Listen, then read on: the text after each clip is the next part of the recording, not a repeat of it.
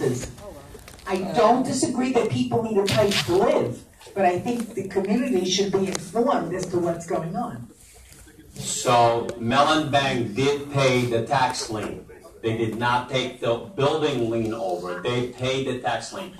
What happens is every couple of years, if the taxes or water hasn't been paid and it's a sufficient amount of money, city goes out there and sells this lien on a public block.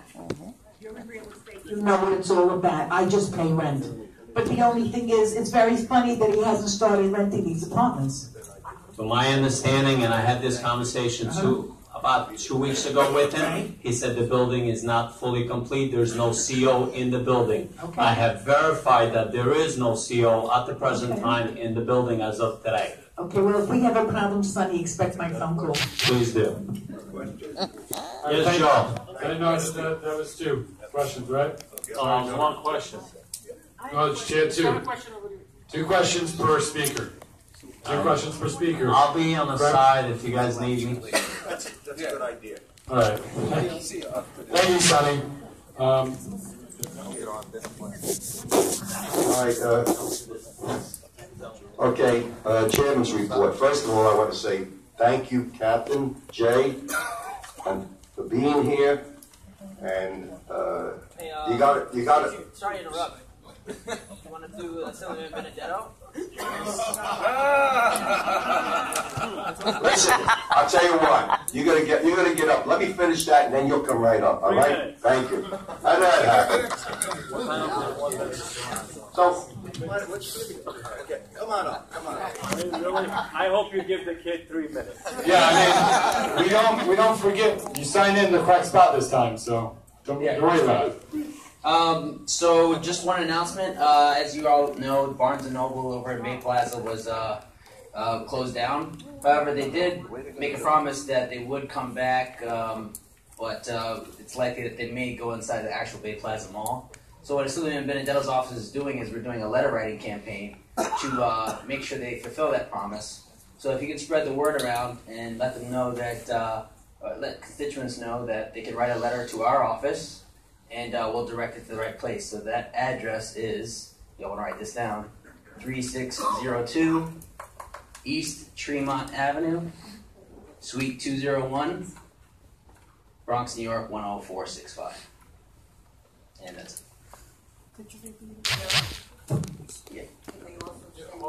Uh, can you- can you repeat that first? the address. Uh, 3602 East Tremont Avenue, Suite 201, Bronx, New York 10465. Sorry. Jeremy, one question, maybe they could also email a letter to your office. Uh, Sure, go ahead. You can do that as well. Uh, we can print it out. It's uh, you can send it uh, to Benedetto Can you spell that? B B E N E D E T T O M at nyassembly.gov. N- nyassembly.gov. And then the question from Don Shiano. Mike, please. Would it carry any more weight if we sent the letter from the community board itself? Yes. But in addition to everyone, and any Yes. other people as well. Okay, great. Thank you very much. Thank you. Any else, anybody else? Anybody hiding? And I apologize. All right, uh, Chairman's report, well, what I want to say is, uh, Cap, Community Board, we've been gifted for the last, uh, since I, since I've been on the board, since '08, I think, that every precinct CO we had, had, we had a great working relationship. You had our backs and we have your back, and it, and it's gonna continue that way, okay? So, uh, you got our support, that I gotta say. Now, I know you've been up some, he's been here since early this morning, so now he's gonna leave, okay? Uh, And I wanna say thank you, Jay, thank you, and, uh, we'll talk. Take care.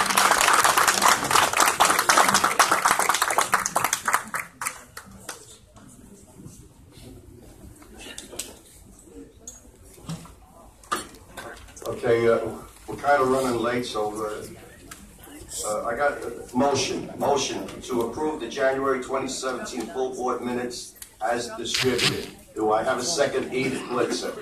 All those, uh, open for discussion. All those in favor? Aye. Against? Abstentions? None, none. Okay, let's move on. I'm gonna, uh, turn it over to our district manager. Thank you, Mr. Chairman. The treasurer's report has been distributed. If there are any questions, see me after the meeting. Thank you. Now, district manager.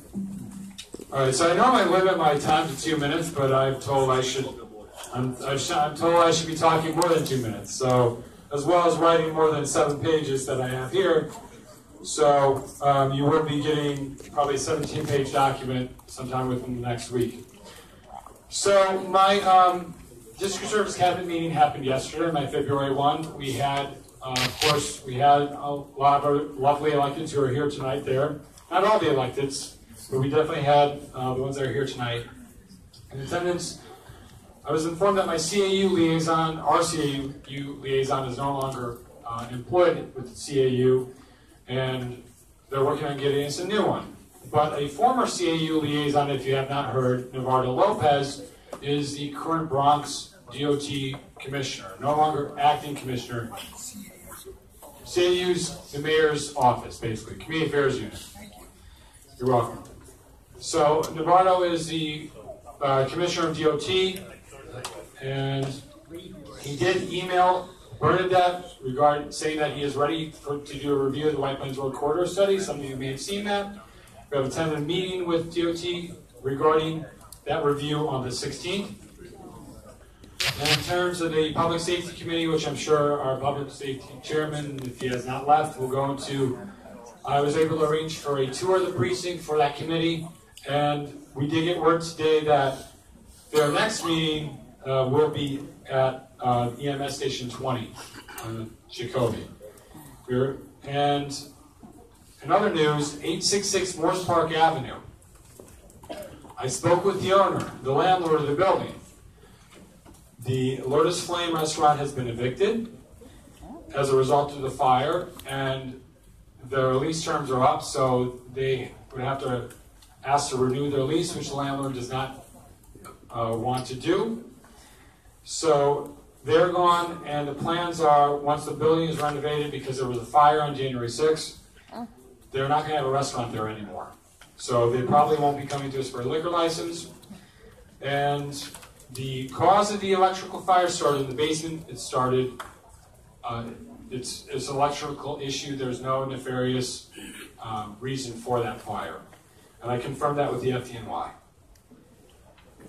Terms of um, other issues on my district service cabinet meeting agenda, Joe Thompson and I, uh, who also is not only a board member but the 49 Precinct Community Council President, we went out in January in front of 2910 Barnes Avenue, which is a church. We got a complaint about loud noise. This is a complaint that I actually got a while ago, and I met with the, the reverend of the church back in August.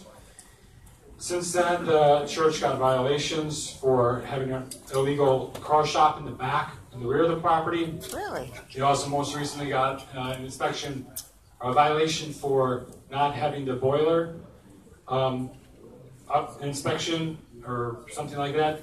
The Reverend told me that they don't use a boiler, which I found a little strange, but That's good. Cold. he needs paperwork submitted to the Department of Buildings if that's actually true, that they're not using the boiler. So they need the appropriate paperwork filed. In the meantime, he got a violation um, last month, actually, the end of last month. Uh, in other news, I know Di- Diane is going to note, uh, note about their next meeting on March 7th. We have the education liaison, Department of Education liaison coming to our meeting, her meeting. I specifically asked that she review our budget priority requests so that we can discuss them. So anyone concerned about educational budget priorities, come to that meeting on March 7th. That's a Tuesday. I know Diane also asked about the current, um, the lifting of the federal transgender bathroom guidelines. Long story short, the DOE liaison wants us to email our questions. If you have questions that she hasn't heard yet, like, I don't know, something about PS eighty-nine, please send me an email. I can compile it and put it together and send it to uh, Miss Miss. Um, her name is Renwick. She's new. She's our current. She's our current per, permanent liaison. So, in terms of uh, Tuesday night's uh, leadership committee meeting, there was a concern about the handling of street activity permit applications. I did ask that the um, community affairs officer Laporte email me to reconfirm, to put it in writing, that they check the street activity permit system on a daily basis and currently have no problems with the current applications. If conflicts or issues arise, we will continue to notify the board as they have been doing. I have that in an email, I have that in writing. In other news, one of our board members published a letter to the editor of the Bronx Times last week. I thought it was worth reading. I will submit the text of that in my emailed report. Speaking of which, uh, there's a parking issue regarding in relation to the Rhinelander Mosque that we're working on with the Assembly Members District. And and there are other issues, but I think the only last one really to discuss for tonight, it's worth noting, is Con Ed doing work around MS 144. They're going to do gas main replacement. As I put in my previous report, they weren't looking to start that until June. They now plan on starting that in March. I don't know specifically when in March. They're going to start because they're going to do work there as well as around St. Clare's. And I know the father of St. Clare's met with um, Con Ed on Tuesday and worked out any issues he had. But they're going to start, at least the plan, last I heard, is March. They're going to start the gas main replacements. They're going to work around the schools. They're going to try to push off till June when school's not in session. Any questions, please see me after me because I know many of you. Andrea Siegel, Mike. Is there any way you can give me Nivardo Lopez's contact phone or email? I, I, I don't know offhand if it's N Lopez at dot. Can you email it to me tomorrow? Yeah, I'm sure, I'm sure that's not a Thank problem. you. And, uh, David, Mike? I have a quick question. Yes. Yeah, it, it was, but maybe, Is this on? yeah. I just had a quick question about the Con Ed. I think your last report talked about that Ed was going to be in the Morris Park area- specifically on Bogart between Morris Park and Rhinelander, which is where the PS3 annex is. And I wanted to know if I could follow up with you specifically, because work is going to be done before the end of the school year. It's going to be very, very difficult. It really should be done in the summer. No, as I said, June is when they're, when the school's out of session is when they're looking to, if they really need to go in there, they'll notify the school. But I had the principal of PS eighty-three, as well as St. Clare's, at my last district service, not, not the one yesterday, but the January district service cabinet meeting, to hash out any of those issues. So, Can I follow up with you on it? yeah, of course, I mean, if you, because I know you use email, if you just send me an email with your specific concerns, I can forward it on to Con Thank you. which unfortunately was not at my district service cabinet last, yesterday. Anything else? No, okay, great, thank you. So we will move on to committee reports. Economic Development, Don Shiano. Yeah, hi, we had a meeting at the beginning of uh, February. I'd like to break this up into uh, three sections.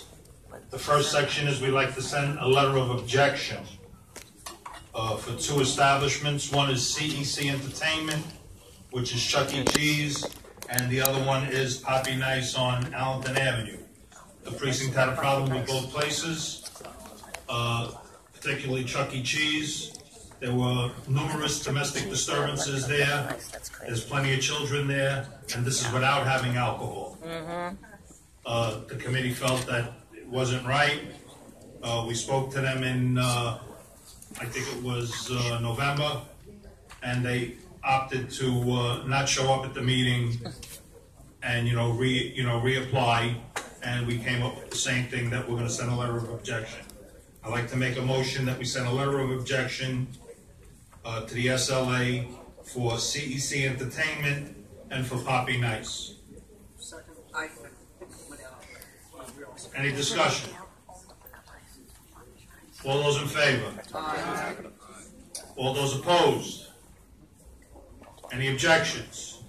Or any uh, abstentions? That's unanimous. It was seconded by Martin Morris. Okay, the second one is, we'd like to send a letter of no objection. Okay, for Pasta Pasta, uh, Corinidad and Louis uh, Restaurant, and that is sixteen sixty Gun Hill Road. Pasta Pasta's on Williamsbridge Road, and, uh, Ruby's Restaurant on six hundred Van Nest. And the last one is Portofino Cafe on Williamsbridge Road. Uh, we spoke to the precinct, precinct didn't have a problem with any of them. I'd like to make a motion that we send a letter of no objection. What? What? Oh, the Atrium Hotel.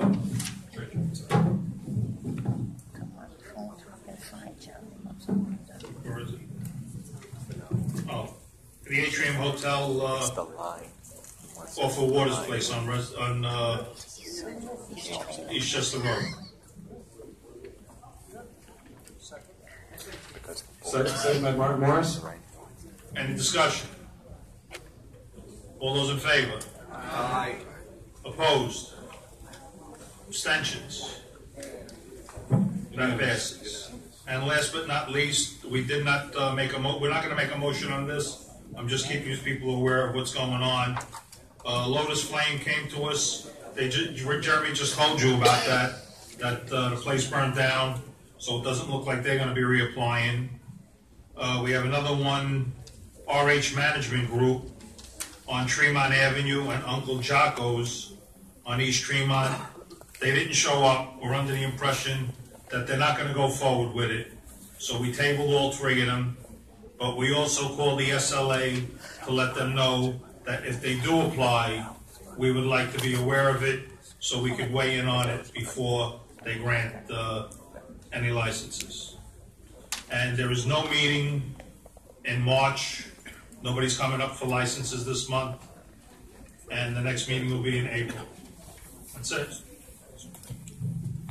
I agree, Frano. Thank, thank you.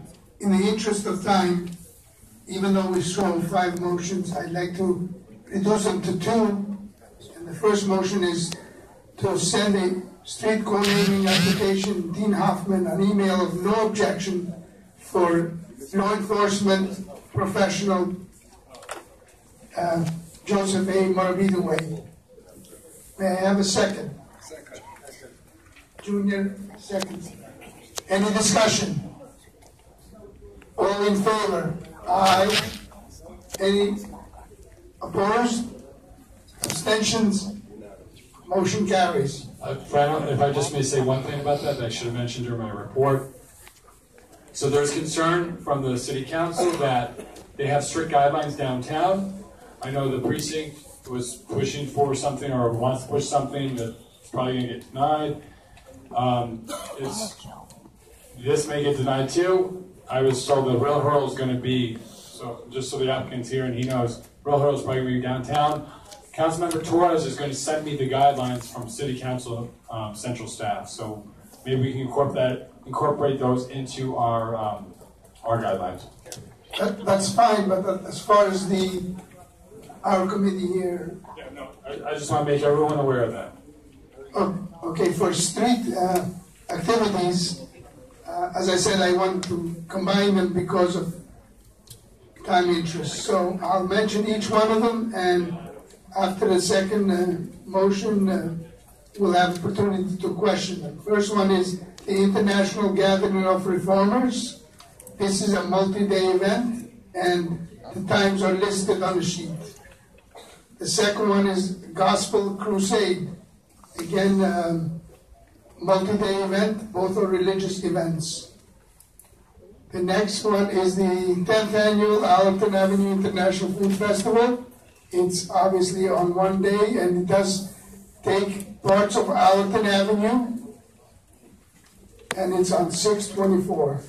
And then there's a block party for Poplar Street on July 29th from twelve PM to eight PM.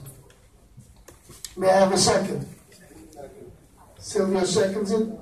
Any discussion? All in favor? Anyone opposed? Any abstention? Motion carries. Thank you, and we will have a meeting in March. All right, so uh, Joanne Rubino Health. Oh, Joe, I'm sorry. I'm sorry. Sorry, Joe. Joe, put it on. Joe, you, put, Joe, you didn't have your glasses on. Now you got them on. Sorry about that, Joe. Go ahead. That's fine with me.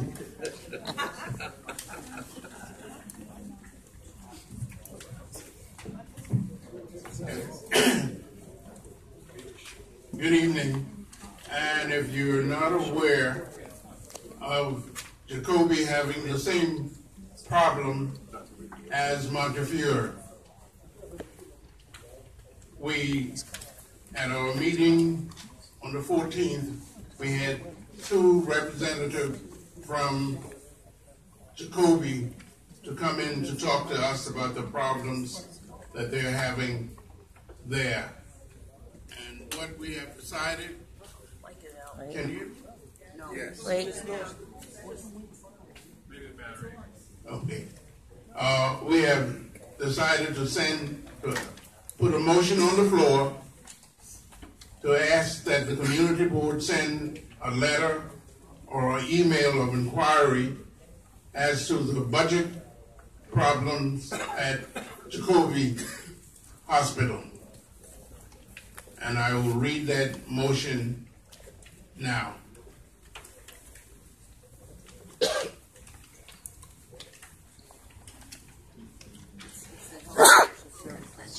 It's true. The motion is to send an email of inquiry to Jacobi Medical Center regarding budget cuts and the impact they have or may be having on patients' care. Do I get a I second that. second? I second, Question? I second that motion. Thank you. Uh, Any questions? All those in favor of? Aye. Okay, I'm asking that the chair send a letter of inquiry. Hold on. Any against? Any abstentions? So, uh, one abstention with cause. Um, so, motion carries with one abstention. Okay, all right. One recusal. I'm going to ask, Uh,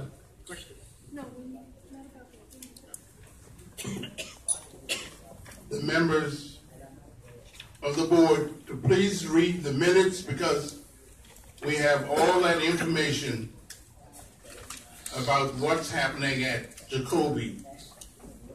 We had a meeting on February twenty-fourth with the elected official representatives.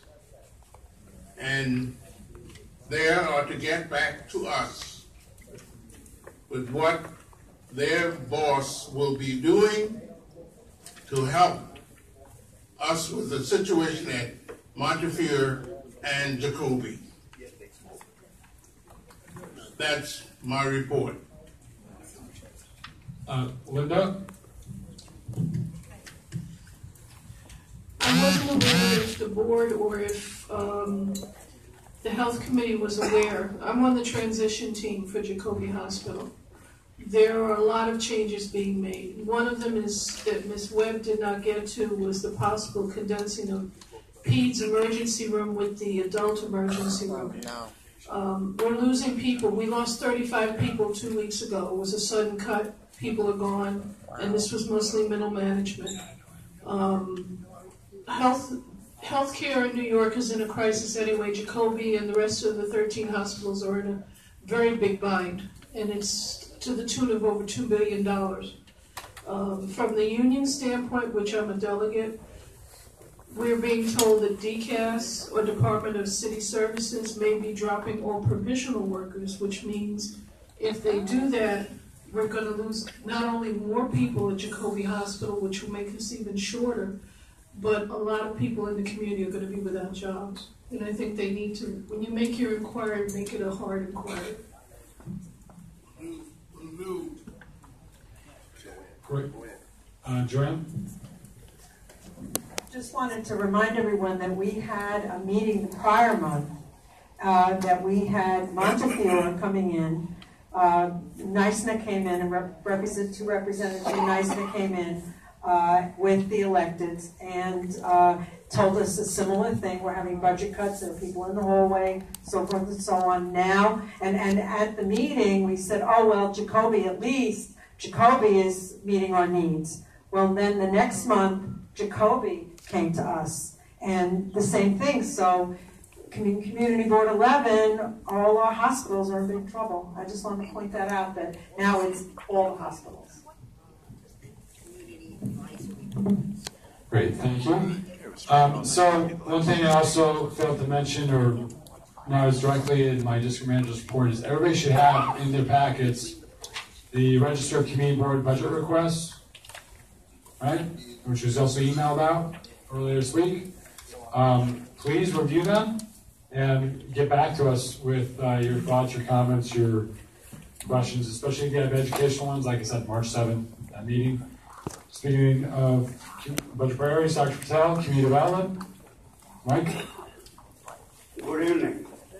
As the district manager mentioned, that in your packet, there is a insert for register of community board budget request. What we are trying to do is we are trying to prepare our response to their items response from our previous request. The timetable is very short and very tight. I would request that all the community members, all the committee chairpersons, and rest of the community board members give to the office their response or their thoughts or suggestions about this document as soon as possible. We would prefer it in writing as part of your minutes of the next first committee meeting so that we can meet the timetable for our response as a board to the mayor and the various agencies. Please help us to improve our standing and our needs to be heard more strongly. Thank you very much. Thank you, Dr. Patel. Uh, is there, uh, Diane Norris, education? Good evening, everyone. Um, we did not have a meeting in February, but we will have our next meeting at March seventh. And as you heard from Jared, we- we are able to, I did speak to today, to our um, liaison for the education, the mayor's office. So she will be coming to our meeting on the seventh. Have a good night. Thank you, Diane. Uh, oral, land use? Yeah, we had a meeting on February sixteenth to discuss the property on Van Nest. Um, it still has to go back. We sent the architects and the developers back to make some more changes that, um, the community, um, had objections to, so we'll see what happens from, from, from this point on. Thank you. That's it. Jeremy? So, uh, so just a reminder, the minutes for the leadership committee, which were approved Tuesday, have been published on the website. The minute, the meeting calendar is in your packets. Uh, Parks and Recreation, Arlene Drayden. Hi, good evening, everyone. Uh, at our last meeting, as Jeremy uh, indicated, we had um, Representative Iris Rodriguez and some of her staff to update us on Pelham Parkway construction. And also, um, there was one main issue, um, Parks Department um, had asked for a forty-day waiver because what they want to do is install vending machines for the um, staff and visitors that come to meetings. So we had a dialogue back and forth about that. There was some discrepancies, but we finally voted una- unanimously to vote for that, um, for that waiver, and the board sent out a letter of approval. Um, our next meeting is March first, and I'm asking all board members to review the document that Dr. Bertel just spoke about, so we'll discuss that at our next meeting. And just be, just be clear, that was a letter that went out regarding the committee's vote, because they needed it before the board met tonight, and they were fine with just the committee's vote. Thank you.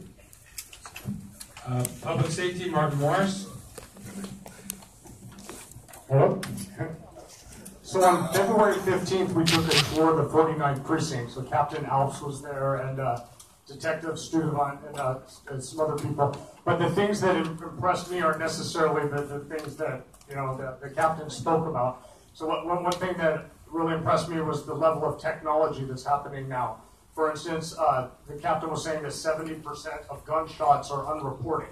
So that like just no one calls the police or anything. So now within this area, there's uh, shot spotters which are in effect. So when there's a gunshot, it's automatically uh, triangulated and recorded. So all the uh, police officers that are on their tours will get a bing on their cell phones where they'll know what the location is and they can play the sound. Um, there- there's also uh, on everybody's cell phone this, this printout that we got that uh, went around. But every 28 days, that there, there's a uh, a program on all officers' uh, cell phones where they can put in the location and see exactly what types of crimes that are happening within the 28 days.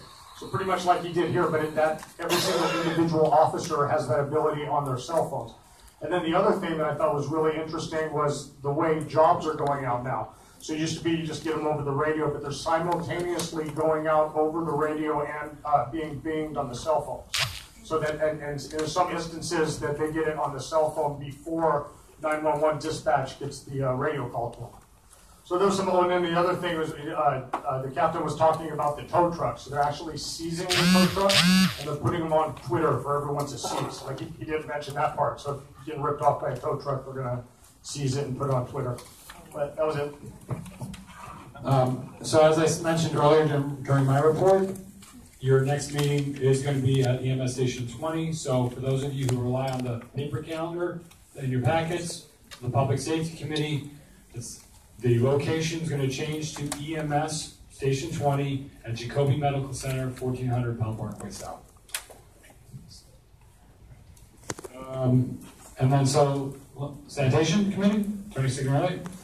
Uh, yes, good evening. We did not meet on February 9th due to the snowstorm that we have.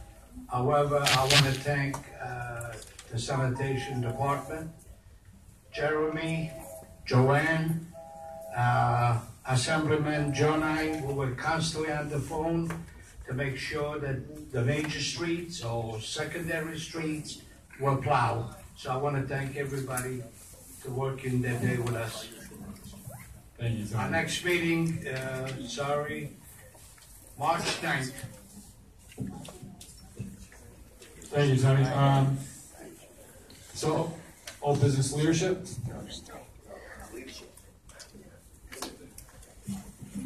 Everybody. Uh, we had a leadership meeting uh, on Tuesday, March 21st. Uh, basically, all we have to do is um, accept, uh, make a motion to accept the calendar, the March 2017 calendar, which is in your packets.